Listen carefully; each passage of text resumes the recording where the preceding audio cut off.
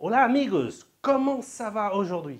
Moi je suis très heureux d'être avec vous et je vais vous partager des véritables pépites immobilières concernant le Portugal. Une question qu'on me pose très souvent, c'est quelles sont les trois régions les plus rentables pour investir au Portugal?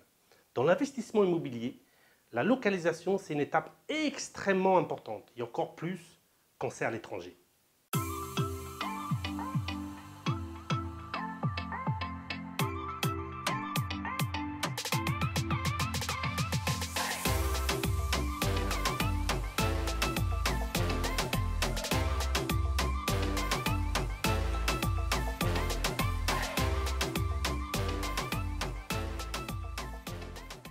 Être bien localisé, c'est sécuriser votre investissement, optimiser votre rentabilité et vous donner le maximum de possibilités d'une future plus-value.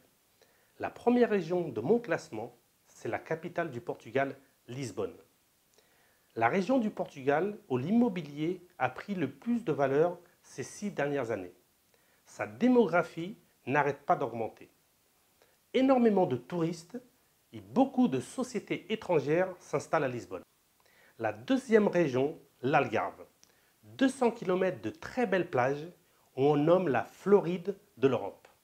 300 jours de soleil par an, un thermomètre qui ne descend pas souvent en dessous de 15 degrés. Une influence forte de touristes pendant 9 à 10 mois.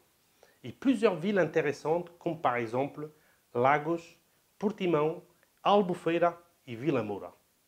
Et enfin, la dernière région, Porto.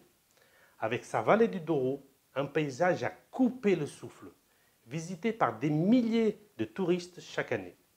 Et d'autres nombreux lieux touristiques pittoresques, sans oublier le vin de Porto, connu mondialement à déguster avec modération. La demande de location courte durée a complètement explosé ces dernières années avec le boom du tourisme.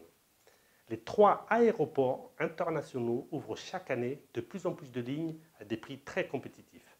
Voilà les amigos, en investissant dans ces trois régions, vous vous garantissez des belles rentabilités et plus-values.